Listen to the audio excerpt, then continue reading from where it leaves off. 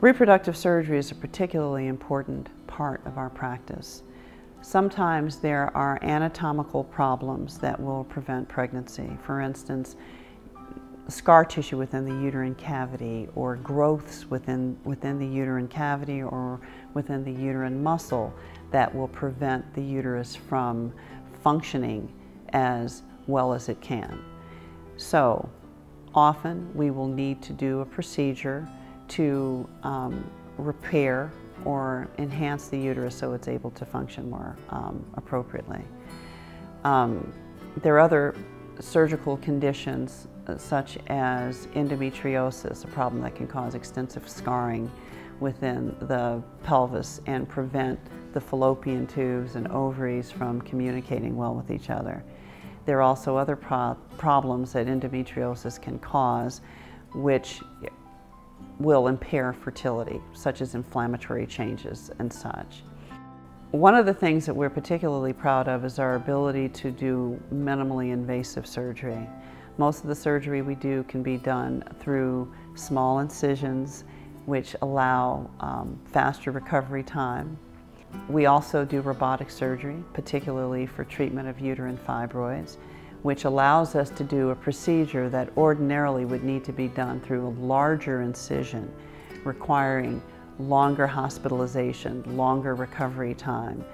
Um, because we can do this with the assistance of a robot through smaller incisions, the uh, procedure can be completed in a more efficient manner. These developments have really helped to enhance the service that we can provide.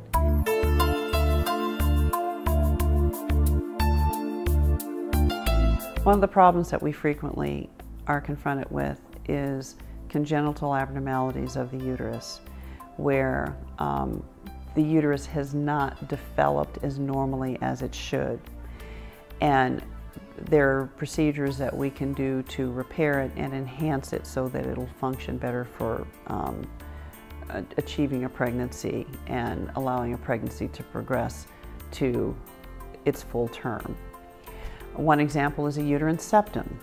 A uterine septum is a wall of tissue within the uterine cavity that can be easily removed through a minimally invasive procedure called hysteroscopy. And it can make the difference between a miscarriage rate as high as 80% to uh, a live birth rate as high as 80%.